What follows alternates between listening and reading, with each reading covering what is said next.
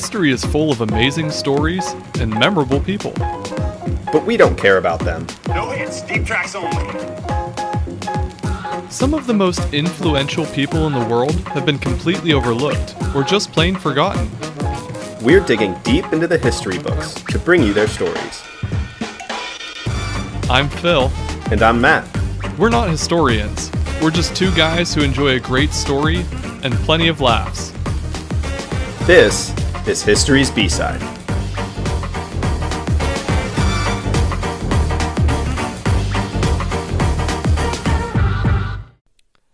Today's B-Sider is The Father of American Music. So, since this is our second music-related episode, I figured we'd kind of revisit one of the things we talked about at the beginning of the Max Martin episode. I know back then we talked about our musical tastes, but I don't know if we discussed our personal experiences as musicians ourselves. I do remember that during our bios, when we did each other's bios, I mentioned that you were a trombone virtuoso. I think you were always a much better musician than I was. You were first chair. You got to give yourself some credit. I was not first chair. I was second chair to the best trombone player in the state of Ohio. So I always refer to myself as the second best trombone player in the state of I, Ohio. I, I see. But truly, I mean, how do you see your time as a musician and like what was your relationship with that part of yourself like?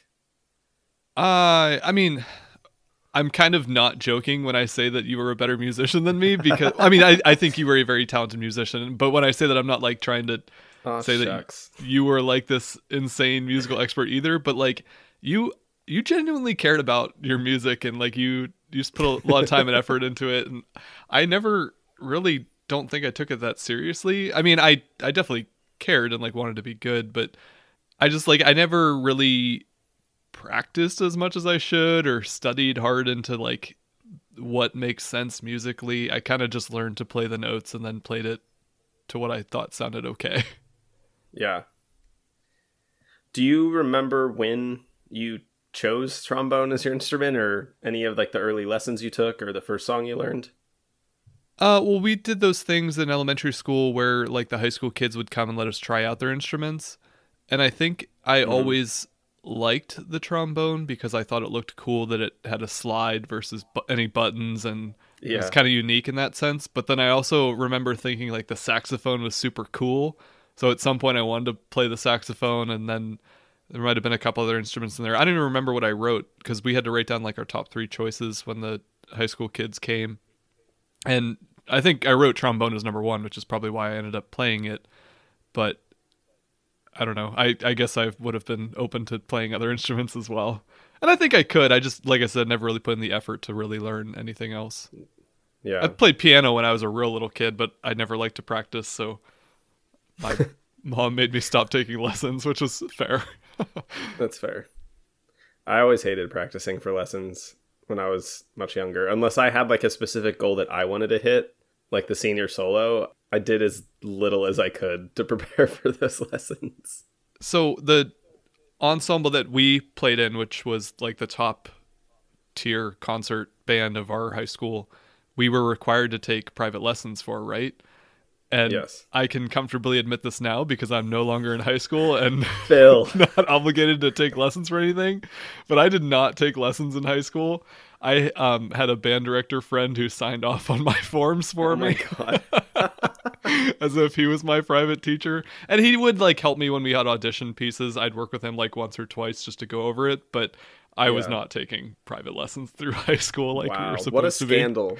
I know, This is- right? This is juicy stuff, History's B-side listeners. Yeah, the secrets are finally coming out. Uh, eleven years post high school. I know. I think we have to retract your entire experience in wind ensemble.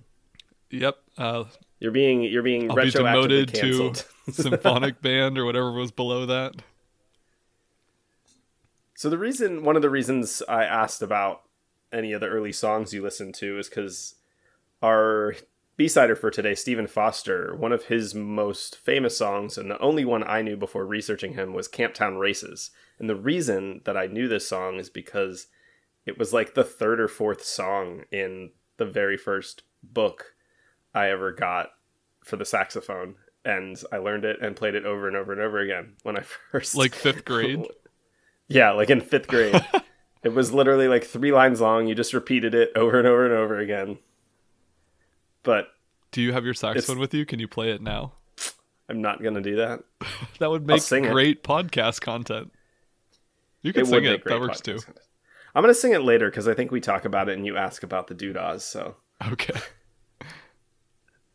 So, before we get into Stephen Foster's life and his work as a composer, given that we're labeling him the father of American music, I think it would do us well to define what that means, define what American music is um, to us, or maybe what you think it, it means to society at large.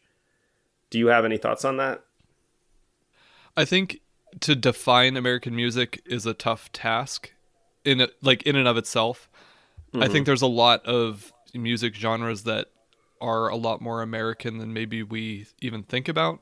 Like I think if you were talking about modern American music, we would almost default to country, which is kind of embarrassing, I think, because a lot of Americans would claim to hate country music, but it is like Yeah. pretty much the most popular genre and kind of stems a lot from American roots. Because I was thinking about that too. Like there are, I mean, if you look at like Mexican culture, there's mariachi music, and we kind of think of that in a, almost like a cartoony way now because you have the mariachi bands that play at Mexican restaurants, and like Mm-hmm. that is very important in their culture, but we don't have. I don't know, like what music would you hear at an American restaurant in another country? And it's also funny because when you do travel to other countries, a lot of the like general ambiance pop music that plays is our same American pop music too. Right. So I don't know. I feel like music and entertainment itself kind of just has this American ideal to it overall. But obviously, those are more newer modern genres that wouldn't be kind of the basis of American music. So I think back to like jazz has a lot of American roots that, and jazz has roots to all kinds of other music that we hear today. Like most modern R and B, hip hop, and even country and other genres do stem from jazz. Um, Yeah. So I, that might be more like a cultural thing in itself, jazz, because I mean that that comes from black culture, and that's not necessarily where we pull American culture from for a variety of different reasons. Right. Well, that's kind of where I was headed with this because the more I researched Stephen Foster and you listen to his music and look where it went, you kind of had these two almost competing origins for American pop music and American music in general. And that was folk music or what we would later consider country and then the blues, which was essentially folk music, but it came out of slavery hmm it it stemmed from songs that the you know spiritual hymnals or cultural songs that slaves would sing and that grew into jazz which grew into rock and roll and rhythm and blues and soul. And a lot of the genres of music we have today were directly influenced by either the blues or country. And i feel like stephen foster was more on that latter side. But one of the things he did well that we'll talk about too is blend different types of music and different cultures in his compositions which like you mentioned it's kind of hard to do with america right we have so many different cultures it's a huge melting pot and it's hard to draw like a direct line back to a specific type of music that you know was the birth of it all Yeah, and I think I mean a lot of American culture is like that too. Though there's not like one American culture, and I don't know. There's Mhm. probably other countries that feel that way, or there's probably other countries that look at America and think, yeah, you're all the same. but I feel like most Americans don't claim the United States as their ancestry, like as their native Yeah. land. So if you if there's like a defining maybe not music but food or some kind of tradition to you, you're going to assign that to your own ancestral roots, not to America. So it is hard to Right. pinpoint like what is organically American. Right. Well, yeah, I mean, I think it all has ties to the original countries immigrants came from. But I think in terms of like jazz, right, it didn't come from any other country. right, yeah. It was born here.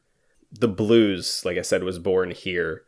I don't know that like folk mu- folk music definitely wasn't born here, but country music as a style of folk music was certainly born here out of you know several different cultures. There were Scottish and Irish hymns and folk ballads that influenced country. It was partially influenced by blues itself. So I think, like I said, country and blues, and then those that came after them are things we I would solidly consider American genres of music that now the world over has co-opted into their own pop culture. What is bluegrass? Is that like an older version of country or is it a lot more modern than I'm thinking it to be?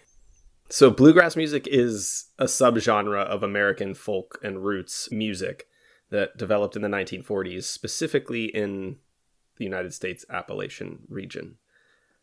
so, So it's it's country from I mean it's part of like Americana. It's born in America, I guess. Yeah. The one thing that would differentiate it says the one thing that differentiates it from country music is that the instrumentation is usually purely string bands, meaning like guitar, banjo, mandolin, fiddle, and bass. None of them newfangled techno drums. Tech- no 808s in your bluegrass music. Auto tune is- bluegrass. That is a crossover I now want. I want like bluegrass hip hop. I'm sure that's a thing. It probably is. I, I feel like it has to be a thing. So, all this to say, there's this main question that I kind of wanted us to consider and revisit later as we learn about Stephen Foster. And that question is Should we consider Stephen Foster the father of American music? Or is there elsewhere to maybe look for a B sider later on down the road? Well, you did the research. I did do the research. Let's dive in. so, like many of our B-siders, there's not a lot of information about Foster out there. Though there are many biographies of him due to his importance in American music culture, details differ widely. Among other issues, Foster wrote very little biographical information about himself, and his brother Morrison Foster destroyed much information that he judged to reflect negatively upon the family. Why would he destroy it? Like, was it revisionist history trying to make the family look better, or did he have some kind of jealousy of his brother's success that he was trying to maybe tear him down a bit? Yeah, I definitely I didn't find anything that suggested jealousy as a motivator, but I think it had more to do with the ways Foster was judged later on in life and past his life for the darker side of his compositions, which we'll get into talking about. He wrote for minstrel shows, which, if you don't already know what they are, we'll discuss it, but they had a very racial connotation and are now Mm. considered highly offensive. He also was an alcoholic and was known for poor drinking habits and poor behavior while he was drinking. So there's just things that don't reflect on Stephen Foster well that I think his brother Morrison was trying to, you know, shove under the rug to protect the reputation of the family and of Stephen. He's just a dark and mysterious musician. Yeah. He's a struggling artist. Exactly. Can't you let him be an archetype? Exactly what we said about what Dietrich Eckart and maybe some Yeah. other people on our show. So the family lived in a northern city, Pittsburgh, but they didn't support the abolition of slavery. And this is, I guess, the first clue in a long line of contradictory evidence as to whether or not Stephen Foster was a racist himself, was supportive of slavery. It's not entirely clear his actual view of the status of black people in the United States, but that wasn't that unusual at the time. So when you say they didn't support the abolition of slavery, does that mean that they were pro slavery or were they more like pro for lack of a better word pro choice that like people could decide or states should be able to decide whether or not they had slavery? I don't know their exact stance. I imagine they were probably pro-choice. Um, there's nothing to indicate they were pro-slavery. They didn't own slaves themselves, but they certainly weren't abolitionists. So I think maybe a pro-choice somewhere in the middle viewpoint was likely what they held themselves. hmm But this doesn't necessarily indicate that that's what Stephen held. you know, he would have been a different generation than his parents, so he might have had more progressive views. Right. So Foster was born in Lawrenceville, Pennsylvania on July 4th, 1826. It's a true American born on July 4th. what more do you need? That's why he's the father of American music. Yeah. He was born to William Barclay Foster and Eliza Clayland Tomlinson Foster, with three older sisters and six older brothers. Wow. His parents were of Scottish and English descent. He attended private academies in Allegheny, Athens, and Towanda, Pennsylvania, and received an education in English grammar, diction, the classics, which I feel like are is probably just classic writing, Right. penmanship, Latin, Greek, and mathematics. So seems like a fairly well-rounded Right. education as a young boy.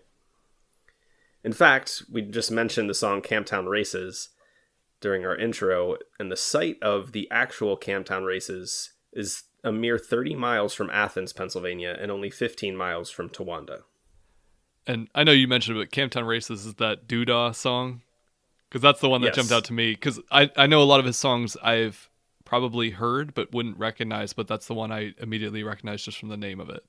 Yeah. It's like Camptown Races, sing this song. I think those are the lyrics. Sing Yeah, I don't know the lyrics. doo-dah, I just know the the uh, tune of it. He did not have formal instruction in composition, but he was helped by a man named Henry Kleber, a German born music dealer in Pittsburgh. What is a music dealer? You know, like instead of dealing drugs on the street corner, he's got mixtapes in the back of his car. That's where my mind went. No, so at this time, a music dealer would have basically a music store owner. He would have sold musical instruments. As we'll talk about later with music of this day, there was no recorded music. So the only way to distribute it was through sheet music. So music dealers would have also sold a selection of sheet music as well. So it would have been kind of like a one stop shop for instruments and Gotcha. music itself. Foster's education did include a brief period at Jefferson College in Canonsburg, Pennsylvania, which is now part of Washington and Jefferson College. He soon left Canonsburg to visit Pittsburgh with another student and didn't return. So he's a young man in college. He's got this slight musical background and a little bit of mentorship from this Henry Kleber guy.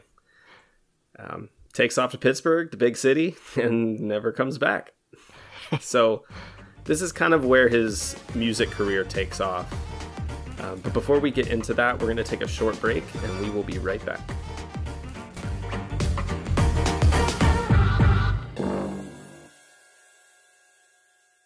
Matt, you like coffee, right? I love coffee. Would you ever want to buy me a coffee? Anytime, Phil. Just say the word. You know, our dedicated listeners could also buy me a coffee. Could they buy me a coffee as well? They could buy you a coffee. This sounds fantastic. We set up this service called Buy Me a Coffee at buymeacoffee.com slash histories B-side. And people can buy us a coffee? Yeah, it's really just a way for people to support the show if they enjoy the show. And if they're listening to the show, we sure hope you enjoy it. Yeah, otherwise you're just, I mean, wasting your time. At buymeacoffee.com slash histories B-side, there's three ways that our listeners can interact with the show. Number one, you can just donate to the show by clicking buy them a coffee. Two, you can join as a member for $10 a month or $100 a year. Being a member gains you some pretty cool perks. You get access to our monthly bonus episode, History's B-Side Battles, access to our future episode queue, a name shout out on a future episode. We'll also send you a handwritten thank you postcard and sticker set, and more perks will be announced as we continue on. There's also some different extras that people can get on our Buy Me a Coffee website. Things like choosing the topic for a future episode. If there's a person, lesser known person in history that you have an interest in, let us know and we'll do an episode all about them. You can also buy sets of custom postcards, sticker sets, and future merchandise that we add on there as well. Or you can draft your own advertisement script and we will promote whatever you want in a segment like this. The website again is buymeacoffee.com slash history's B-side. Matt, Yeah. you owe me a coffee. Oh. Do I get a coffee too? You're buying. All right.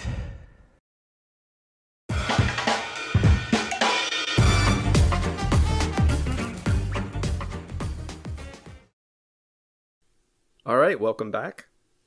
So, when we left off, we had kind of talked about Foster's early life. He had a slight, kind of self paced, self taught music education with a little bit of guidance and composition from a music dealer. Stephen Foster grew up in a part of Pittsburgh where many European immigrants had settled and was accustomed to hearing the music of the Italian, Scots, Irish, and German residents. He composed his first song when he was 14 and entitled it the Tioga Waltz. I looked up what Tioga is, and the only thing I could find is that it's the name of a county in New York. I can But- see that being. I mean, Yeah. the entire reason that he named it that. I don't know if there's any connection there, but I don't know. Yeah. The very first song he published was titled Open Thy Lattice Love. Sounds raunchy, Sexy, doesn't it? yeah. Yeah, I mean, it does sound pretty raunchy. Though when you read back the lyrics, this is at a time where things didn't get any more suggestive than the title might might seem. the The song ma- mainly is about him or the narrator, I suppose, falling in love with a beautiful woman. But the, the raunchiest line in it is "Open thy lattice." Well, that wouldn't. I feel like when you hear that from a modern lens, that sounds like I don't know some kind of garment, but it's probably more like Yeah. a window. Probably. You're probably right, actually. Soon after moving to Pittsburgh, he signed a contract with the Christy Minstrels, one of the most important early minstrel companies. It was during this period that he wrote most of his best known songs Camptown Races, Nellie Bly, who, you know, we've got our own B-sider episode Yeah. about her. She got her pen name from. So she was she got her yeah, Steve- she yeah, got her pen name from this song. that's the one we named or mentioned Stephen Foster on because that's where her pen name came from. Yeah. Other well known songs of his include Ring to Banjo, Old Folks at Home, My Old Kentucky Home, which are kind of the same song. They're just different adaptations lyrically of the same tune. Old Dog Trey and Jeanie with the Light Brown Hair, which was written for his wife, Jane Denny McDowell. Jane and Stephen were only married a short time from 1850 through 1853, when she reportedly left him due to his alcoholism. The two had one child together, a daughter, nine months after their wedding. Little honeymoon baby. Wonder why they got married. When they got married. That doesn't. I doubt they knew. that. Yeah. I doubt I doubt they knew that soon though. I'm sure they were doing all kinds of pregnancy tests Pregnancy and tests. early ultrasounds in the 1850s. Yeah. Many of Stephen Foster's songs had Southern themes, yet Foster never lived in the South and visited it only once during his 1852 honeymoon. When the baby was conceived. Is there any reason why his song said southern themes? I think it has to do mostly with the fact that he seemed to be a very. His influences seem to be very widespread. He wrote about a lot of different topics in American pop culture at the time, and this would have been just before the Civil War. So the whole narrative around Southern culture versus Northern culture would have definitely been a thing. He was also located in Pittsburgh, Pennsylvania, which, while it was a northern city, was pretty much right up against the beginning of the southern states. so it's not surprising that some of these songs had southern themes because he really did write about the full kaleidoscope of American experience during Did he feel a particular connection to the South, though, that he would be writing as if he was from there? I don't know. I mean, he has two songs in particular My Old Kentucky Home, which I just mentioned, and Swanee River, which is in Florida. But it was noted that he wrote both of those songs without having ever visited those two places. I think he was particularly good at tapping into the pulse of what people might want to listen to. And at the time, you know, we talked about Max Martin a lot, knowing how to write a good pop hit. And I think this is kind of that same thing. Stephen Foster knew how to write a good pop hit at the time that a lot of people would want to listen to. And part of that would have been writing about the South. Knew how to go viral in the 1850s. Yep, it's just selling out. selling out to the people who buy sheet music. and what's more American than selling out? Racism. I'm glad you brought it up. So now I want to get into that part of his career because I think it's worth talking about before we discuss his contributions to the music industry and music culture in America before we decide you know, how we view him as a B-sider and as the father of American music. So I mentioned a short bit ago that his first contract was with the Christy Minstrels, which was not only one of the most important early minstrel companies, but the one that kind of set the stage and traditions that would follow in minstrel theater. And if you're not familiar with this type of entertainment, I guess you could call it, minstrel shows, also called minstrelsy, were an American theatrical form popular from the early 19th to the early 20th century and they were founded on the comic enactment of racial stereotypes. I like that this is an American theatrical form. Comic enactment of racial stereotypes. Nailed it. Like when Yeah. people say that racism isn't like built into systemic American ideology, like it's literally as American as baseball and apple pie and Yeah. everything we love about this country. I mean, it is in a way baked into the fabric of a lot of our culture, especially from this time period. yeah. The tradition itself reached its zenith between 1850 and 1870, which kind of makes sense with the, you know, end of the Civil War and Reconstruction would have probably started a decline in this type of entertainment. Mm-hmm. Although the form gradually disappeared from the professional theaters and became purely a vehicle for amateurs, its influence endured in vaudeville, radio, and television, as well as in the motion picture and world music industries of the 20th and 21st centuries. As a minstrel writer, many of Foster's musical lyrics often contained hateful racial ideas. Some of Foster's songs were written in black dialect and intended to be performed in blackface by a white actor or singer. And this is how many of the minstrel shows were. You know, it was a white performer in blackface, and the the performances usually caricaturized black people as either dumb or goofy or kind of stumbling, bumbling. I mean, I don't think that's surprising to any of us that are used to the way people talked about slaves and black people back then. Um, but it is kind of shocking to look back on now, as you know, it was like something people went and looked at on Friday night, like after dinner. Are you sure they weren't just chimney sweeps covered in soot like Black Peter from our Anti Santas episode? I feel like Black Peter was controversial for the same reason. Yeah, of course he was. He wasn't really a chimney sweep. That's the modern way that people can still get away with it. no, no, no. He's a. Chi- they they were all chimney sweeps. Weird how many chimney sweeps were featured in minstrel shows and other it's almost American like a third of the country was chimney sweeps. Very present in our culture. Were chimneys even that much of a thing then? Like I don't know. At this time in England, definitely. Today's B-sider is the inventor of the chimney. Coming soon on History's B-side.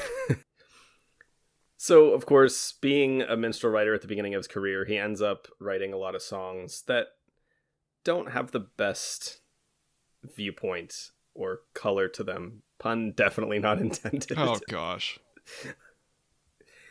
Ken Emerson, a music historian and Foster biographer, says these songs are a source of racial embarrassment and infuriation. Although some of Foster's blackface lyrics are abhorrent, at their best, they imbued African Americans with a dignity and pathos that were unprecedented at the time. This is kind of hard for me to mentally grasp because of what we just talked about. And I feel like the phrase, at their best, they imbued African Americans with dignity, hurts my soul to say.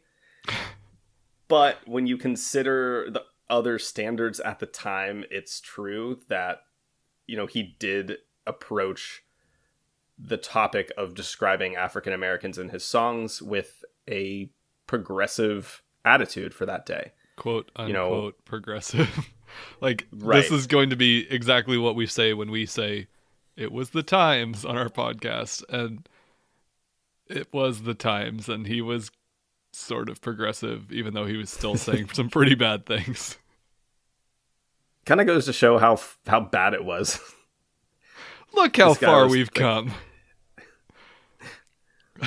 So some of the ways that he had this unprecedented regard for African Americans are present in his songs. We talked about the song Nellie Bly or Nellie was a lady, and this was actually the first time a songwriter had ever called a black woman lady in a song before. That alone was groundbreaking, which is still bonk like crazy to me. Unbeknown to most of the throng that sing its lyrics on Derby Day, my old Kentucky home does not celebrate cavaliers and crinolines in the Old South. It invokes Uncle Tom's Cabin and indicts slavery for breaking up black families. Smithsonian Magazine described the song as, quote, a condemnation of Kentucky's enslavers who sold husbands away from their wives and mothers away from their children, and as the lament of an enslaved person who has been forcibly separated from his family and his painful longing to return to the cabin with his wife and children. So it's interesting. I tried really hard to look up the original lyrics for the song, but it's been revised so many times that most of the lyrics are kind of whitewashed and Boy, I wonder why. made better. But from its start, this song had kind of a questionable reputation where many people thought it was racist, other people argued that it was arguing against slavery. And I don't know if anybody ever really knows. I do think it's an interesting part of his songwriting that he leaves things a little bit ambiguous for the listener. So do you think he was intending to leave things ambiguous or is it that we have just such a hard time of putting ourselves in the mindset of the time that we can't really judge from a modern viewpoint whether he was progressive or not? I think a little bit of both. I I think it's a couple things. I think it's that it's just hard for me to see the cultural context in which these songs were being written because a mm-hmm. I don't know a lot about what else was out at the time and about pop culture at the time. I don't know what the common opinions across the whole country were of the day. But I also think, I mean, when you read his lyrics, which we will in a short bit, they are still kind of compared to today's standards in pop culture and pop music, pretty poetic and up for interpretation. They're very lyrical. I feel like pop music today is pretty pretty straightforward, you know, kind of blunt and you know, many songs at least don't have a ton of metaphorical nuance to them. Whereas Stephen Foster's lyrics, though you can kind of pull out the message, does take a bit more critical thought and you kind of have to dig into the lyrics to understand what he's trying to say. Does that make sense? Yeah, I think well, I think the idea of like trying to put ourselves in the mindset of the time period is very difficult. I think it's easy and we probably use it as a crutch to say, "Oh, it was the times." And, you know, if he's advocating against slavery, then he's clearly more progressive. But All right. it's hard to like know what that line was in 1850s 60s whatever time period we're in because i don't know like that was a time when i mean you would literally look at a black person and not think of them as human and Right. for most people living in the 21st century you can't even fathom that because it's pretty understandable that like humans are humans and not property Right. Yeah, I think it is hard to put yourself in the shoes of his listener at the time. I think it is important to mention that in the 1850s, he did associate with a Pittsburgh area abolitionist leader named Charles Shiras and wrote an abolitionist play himself. So his music and artwork wasn't just reserved for the racist minstrel shows. I don't think this is a necessary I don't think this is necessarily a defense of that part of his art form, but I think we should take the whole spectrum of his work in that he was reflecting what was going on in America at the time from a broad range of viewpoints, right or wrong. But I thought that was an important point to make as we consider whether or not it's appropriate to call him the father of American music. So, having written an abolitionist play, does that mean, unlike his family, he was anti-slavery? I don't I don't know. I it's hard to tell. Um it and this isn't even like we'll talk about in a second. This isn't the only time Foster's material seems contradictory of itself. He wrote songs about lots of different subjects that you know, one song would be from this viewpoint and another from the opposite. So I don't know that just because he wrote an abolitionist play that he was necessarily anti-slavery. I do think I mean it's at least a statement that he was in the moderate camp. I don't think he was pro slavery. I don't know that somebody at this time when it was this heated could have been pro slavery and also writing abolitionist plays. Right. Whereas I see it as perfectly possible that one might write an abolitionist play and believe slavery is wrong while still caricaturizing black people. Yeah, absolutely. Because that would have been a much more, you know, as unfortunate as it is, that would have been a much more reasonable stance of the day than the opposite would be. Right. And one of the other subjects on which Foster's material seems ambiguous is alcoholism or temperance. An alcoholic himself, Foster wrote songs in support of drinking, such as My Wife is a Most Knowing Woman, Mr. and Mrs. Brown, and When the Bowl Goes Round, while also composing temperance songs such as Comrades Fill No Glass for Me or The Wife. So, do you have like lyrical examples from these? Because I think it's funny that he has a song for drinking and against drinking that both reference his wife.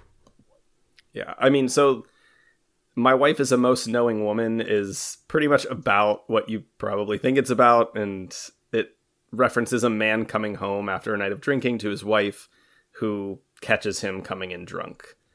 The opening lines of the song go, "My wife is a most knowing woman. She is always finding me out. She never will hear explanations, but instantly puts me to rout. There's no use to try and deceive her." if out with my friends night or day. In the most inconceivable manner, she tells where I've been right away. She says that I'm mean and inhuman. oh, my wife is a most knowing woman. So How dare she? The first verse of that one, the Mary Brown and Mr. Brown, Mr. and Mrs. Brown one is basically a back and forth call and response between Mrs. and Mr. Brown, where the same thing's happening. Mrs. Brown's angry with Mr. Brown for coming home drunk. He's trying to like beg her to hear him out and not be mad. And they go back and forth. I don't remember if you said this. How was uh, Foster's relationship with his wife? Wasn't great. It wasn't. I mean, they were only married. They were married in 1850. She left him in 1853 because of his alcoholism. So I don't think they had a good time. It's a little on the nose, don't you think? Pretty much.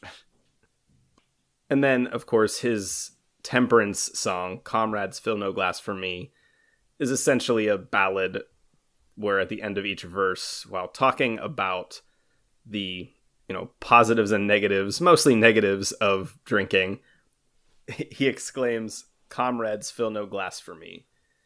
So, like I said, he was capable of writing from two different viewpoints, at least when it came to pop culture opinions of the day.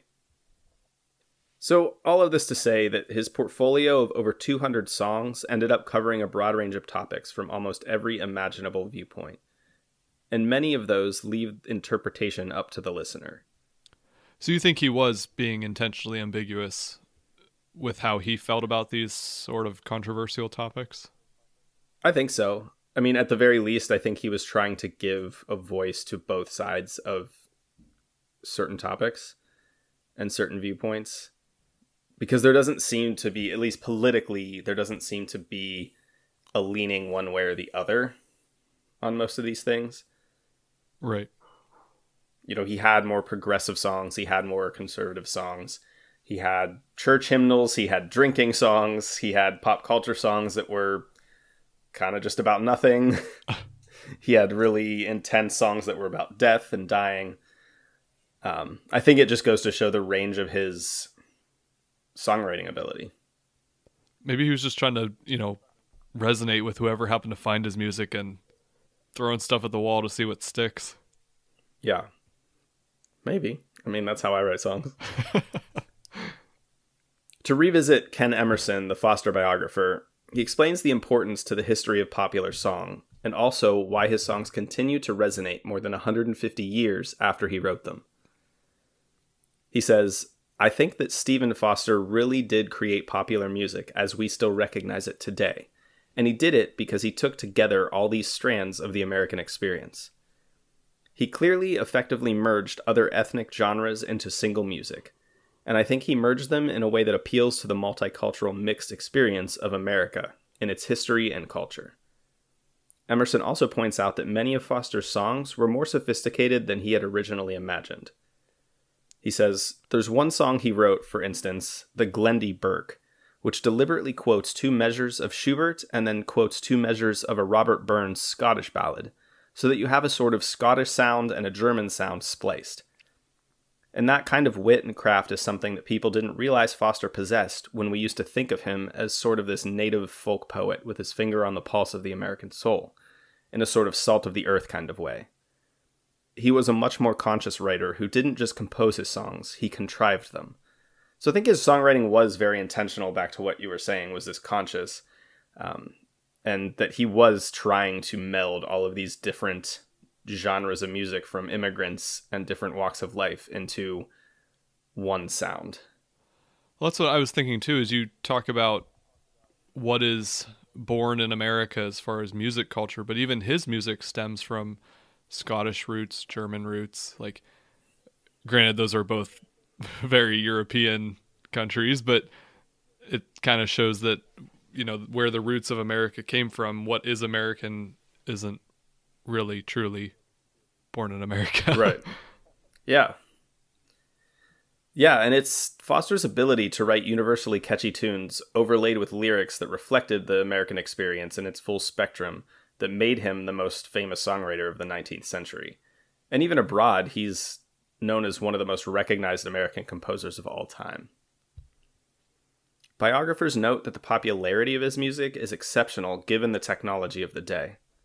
Without recording and playback technology such as vinyl and radio, Foster's music was mainly distributed in the form of sheet music, meant to be played by or for the buyer. So I was actually wondering about this because there wouldn't have been a way for him to record music, right? His music was only Right, yeah. basically written down to be performed by others. Pretty much, yeah, you would have needed either to have musical skills yourself or know someone who could play music and sing to have these songs played for you. You would pretty much get a piece of sheet music the same way we did in marching band when you bought a song. So would he have needed like an orchestra to perform them, or were they written so that someone, I don't know, with a piano or whatever, could sit down and play his music? Most of them were written primarily on piano. Okay. That would have been his main songwriting tool. Foster's last four years were spent in New York City. There's little information on this period of his life, although family correspondence has been preserved. It's known that Foster became sick with a fever in January of 1864. Weakened, he fell in his hotel in the Bowery, cutting his neck. His writing partner, George Cooper, found him still alive but lying in a pool of blood. Foster died in Bellevue Hospital three days later, at the age of 37. Jeez. It's another young death. I mean, wasn't your last topic Ada Lovelace died at 36? Yeah. It is kind of crazy the impact he had, though, because his career wouldn't have been particularly long. No, I mean, when we consider that he moved to Pittsburgh during college, he would have only been working as a composer for 20 years, Yeah. or less, I suppose. Some biographers describe different accounts of his death. Historian Joanne O'Connell speculates in her biography, The Life and Songs of Stephen Foster, that Stephen may have killed himself, a common occurrence during the Civil War. George Cooper, who was with Foster until he died, said, quote, He lay there on the floor, naked, suffering horribly. He had wonderful big brown eyes, and they looked up at me with an appeal I can never forget. He whispered, I'm done for. Unlike Foster's brother Morrison, who was not in New York and said Foster was ill and cut his neck on a wasp basin, Cooper mentioned no broken crockery and also said Foster had a large knife for cutting up apples and turnips. Morrison may have covered up Foster's suicide. As we mentioned earlier, Morrison was fond of, you know, covering up embarrassing Family family, secrets. history, yeah. Yeah. Evelyn Morneweck, Morrison's daughter, also said the family would have covered up the suicide of their uncle if they could have. Why do you think he would have committed suicide? I mean, I think there's a couple of reasons for this. Like I said above, it's a it was a common occurrence during the Civil War. I think the same way you see now with the pandemic, where mental health is worse across the board, and you see higher rates of suicide as a result. The Civil War tore our country apart for several years, and did the same with the economy. And it would have been a very hard time for everyone, even those who weren't directly involved in the Civil War. So that could have been part of it it's also likely that his alcoholism didn't help. Yeah, I mean, that's true. We know that alcoholism doesn't help suicidal ideation or suicidal thoughts, so it's very likely that these things and maybe personal stresses like the stress of losing his wife might have you know come to roost. Hmm As O'Connell and musicologist Ken Emerson have noted, several of the songs Foster wrote during the last years of his life foreshadow his death, such as The Little Ballad Girl and Kiss Me, Dear Mother, Ere I Die. Is there stuff in the lyrics that you found that would kind of hint at that? Sort of. It, it like I said, it's a little bit more metaphorical and it's not very direct, but the refrain of the song is Tis my father's song and he can't live long. Everyone knows that he wrote it. For I've been down at the hotel door and all the gentlemen bought it. So he only references that in one line there, and then later on he says, Ho little girl, what makes you cry? Um, kind of referencing this girl whose father doesn't have long to live. And then the other one, Kiss Me, Dear Mother, Ere I Die, is a little bit more direct, and it says, Bend over my pillow, my mother dear, life's chilling close is now drawing near. Drive from about me these clouds of fear, breathe o'er my brow a parting sigh. So he starts writing music that has a little bit more focus on the themes of death and dying. But it's odd because he's not like it's not like he's old old at this point. People didn't Right. live as long as they do now back then, but 37 would have been a young age to start obsessing about death and dying in his art. And that So, could I think that might be- Right. I mean, I think it wouldn't have surprised me that he had. In fact, I'd be surprised if he didn't suffer from some form of depression. Hmm. It's. It. I mean, it goes almost hand in hand, comorbidity wise, with alcoholism, and it's also common among artists. Why I don't know, but it wouldn't have surprised me if he was suffering from some form of mental illness. Right. In the end, Ken Emerson says in his 2010 Stephen Foster and Co. that Foster's injuries may have been either accidental or self inflicted, leaving again the question open to interpretation. when Foster died, his leather wallet contained a scrap of paper that simply said, Dear friends and gentle hearts, along with 37 cents, one for each year of his life, in Civil War script and three pennies. The note is said to have inspired Bob Hilliard's lyric for Dear Hearts and Gentle People, which was written in 1949. Foster was buried in the Allegheny Cemetery in Pittsburgh. Just to bring back that callback to Nellie Bly, she was sort of from Pittsburgh, not like from Pittsburgh directly, but she was working in Pittsburgh when she got her pen name Nellie Bly. So I wonder Hmm. if that's really the local connection that they were both kind of from the same area, and that was one of his Yeah. famous songs. I mean, I'm sure it's possible. I it might be why his it might be why Nellie Bly's boss knew of the song Right. and had it on hand to nickname her. right. After Stephen's death, Morrison Foster became his literary executor. As such, he answered requests for copies of manuscripts, autographs, and biographical information. One of the best loved of his works was Beautiful Dreamer, which was published posthumously in 1864. Foster is honored on the University of Pittsburgh campus with the Stephen Foster Memorial, a landmark building that houses the Stephen Foster Memorial Museum, the Center for American Music, as well as two theaters, the Charity Randall Theater and Henry Heyman Theater, which are both performance spaces for Pitt's Department of Theater Arts. It is the largest repository for original Stephen Foster compositions, recordings, and other memorabilia his songs have inspired worldwide. Two state parks are named in Foster's honor the Stephen Foster Folk Culture Center State Park in White Springs, Florida, and Stephen C. Foster State Park in Georgia. Both parks are on the Suwannee River, which we mentioned earlier. Yeah. He had that song about. There's also Stephen Foster Lake at Mount Pisgah State Park in Pennsylvania that is named in his honor. Mount Pisgah State Park is in Pennsylvania? There's lots of different Mount Pisgahs. Oh, okay. As I've come to like, there's one in Oregon. I've hiked there's a Mount Pisgah in North Carolina. yeah, there's several different Mount Pisgahs. That's so weird. Must be a popular name for a mountain. I wonder why that is.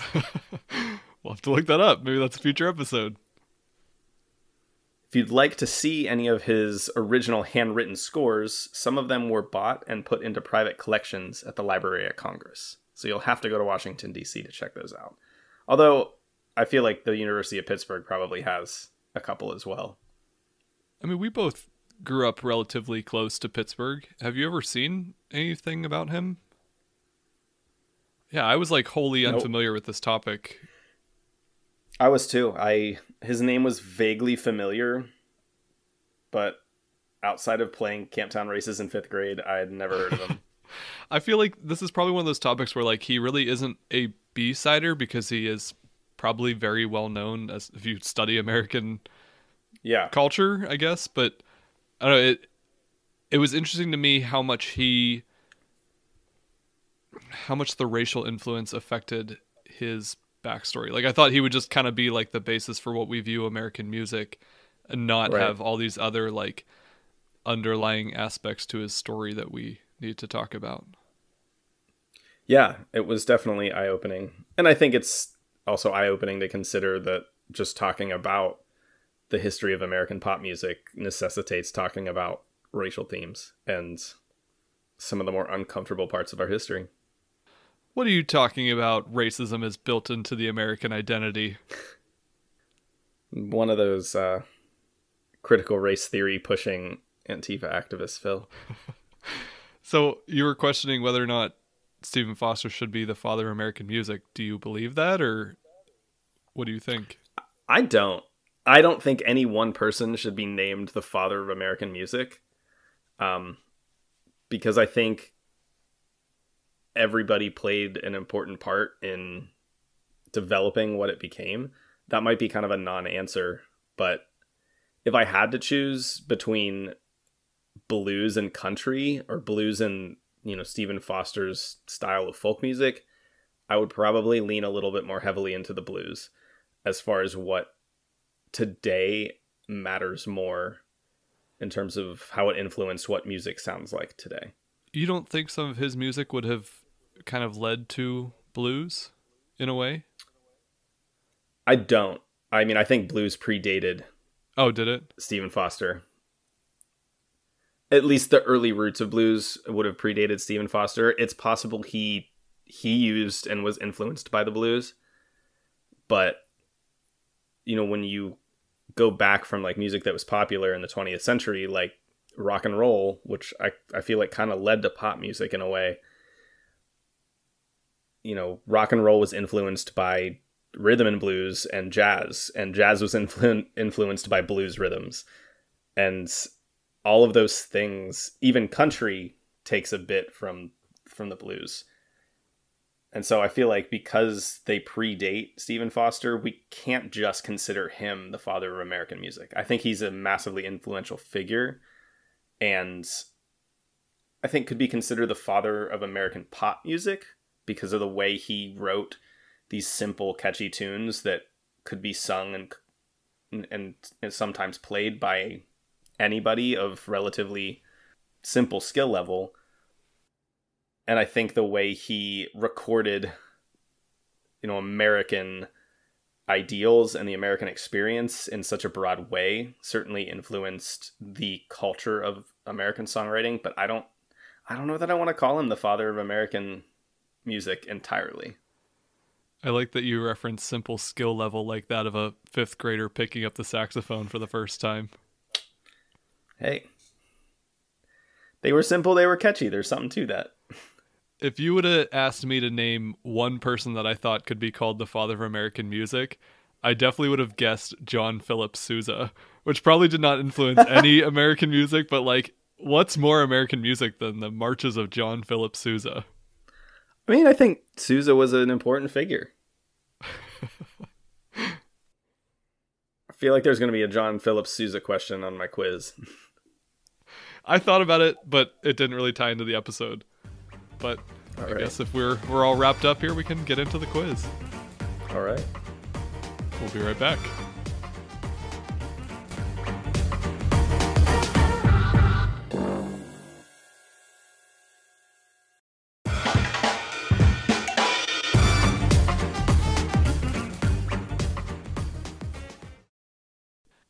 Right. As our loyal listeners know, we like to end every episode with a short three question quiz to test today's host, see how much he studied his topic and maybe things around his topic. And maybe you, the listener at home, is familiar with it and you can try to answer these questions as we go.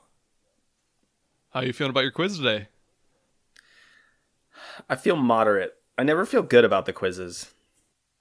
I've had like one or two episodes where I was very confident going into the quiz, and I think I maybe got one of them right. Usually I have no idea what to expect.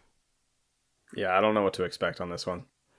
Well, all three questions are at least about Stephen Foster or his songs. So they're I don't think they're terribly difficult. The first one will be difficult and then the other two you might be able to guess. One of them will be multiple choice. All right. I like multiple choice questions. All right, question number one, which is probably your hardest question, and then it gets easier from there. Foster was the first man to be paid a royalty on sheet music sales and the first American to make a career out of writing songs.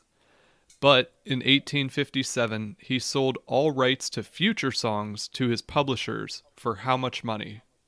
Oh God. If you'd like, you can guess like the modern amount of it, whatever the correlation is. I'm gonna guess the money in his day, pre-inflation. Okay. I'm gonna say he sold it for a thousand dollars. Close-ish. How much was it? Five hundred. 1900 Oh, okay. and today that would have about the same equivalency of $61,000 just under 61,000 which is Hmm. a decent bit but like not really that much Not for music royalties for an entire catalog. right so that's the thing is like if he had kept royalties on it he they would be worth much much more than what he sold his rights for but today a lot of his music or pretty much all of his music is in the public domain just because it's been so long that Yeah. any kind of copyright on them has since expired question number two this might be your easiest one so i'm confident in you on this one Oh, good. Foster is the only American composer credited with writing two official state songs. And I will say that you mentioned both of these song titles in the episode today. So, Oh, but your question is which two states? And if for- Kentucky. for, extra credit if you can name the song. Kentucky would be my old Kentucky home, Mhm. and I want to say Georgia, Georgia but I don't know what song. Georgia is incorrect. Is it Florida? It is Florida. Swanee? It's not Swanee, but it is the most Florida sounding of his song names that you mentioned. Oh gosh. I'm like going back through the song titles. Old folks at home. Sure is. is there a more Florida sounding There song title than Old Folks at Home? I don't think so. It's where like all the the, old retirement folks go when they retire. I thought that was so funny. Ray Charles has an adaptation of Old Folks at Home. It's under a different title that I can't recall right now, but Yeah, isn't that the state song of Georgia? Georgia on my mind.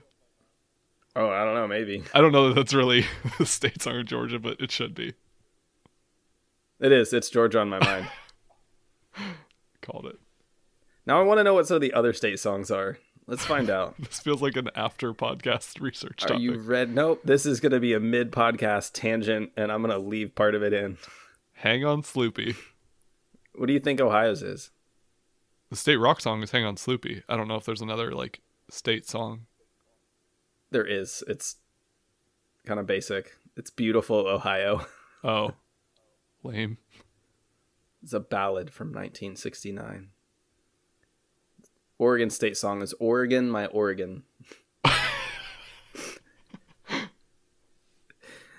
uh, South Dakota's is Hail, South Dakota. So there's that. On point. All right. Moving on. Ready? Yes. All right, for your final question. Foster's most recorded song, which is Hard Times Come Again No More, is frequently performed as a concert encore by what famous American recording artist? And this one is multiple choice. Hmm. Is it A. Dolly Parton, B. Bruce Springsteen, C. Billy Joel, or D. Stevie Nicks? Oh, that's hard. I feel like it's Bruce Springsteen. Correct. Yeah. You did good. I did all right. I'll take it. also, Swanee River and Old Folks at Home are the same song. Are they really? Yeah, it's Old Folks at Home parentheses Swanee River Oh, so you actually with nailed that. revised lyrics. Yes. I didn't know Get that it. was the same song. I like that he didn't live in either of the states. Pennsylvania had no pride. They were just like, eh. Well, he uh, was not at home in Florida, and he wasn't quite an old folk. Pennsylvania state song was written in 1990. What? It's just called Pennsylvania. Some guy was just like, "We don't have a state song. I'm gonna write one and call it Pennsylvania." Well, as usual, we really appreciate you, our listener, for taking the time to learn about history with us. We hope you enjoyed this week's episode. If you have any questions or comments, or just want to reach out, please feel free at historiesbside at gmail.com, or you can find us on social media at historiesbside. Thanks for listening. We'll see you next week. History's B-Side is an independent, listener-supported podcast. Leave us a review or subscribe to the show on your favorite podcasting service, and follow along on Facebook, Twitter, and Instagram at History's B-Side. Send us your feedback or inquire about sponsorship and advertising opportunities by emailing us at historiesbside at gmail.com. You can donate to the show at buymeacoffee.com slash histories b-side. While you're there, check out our membership perks, merchandise, and more.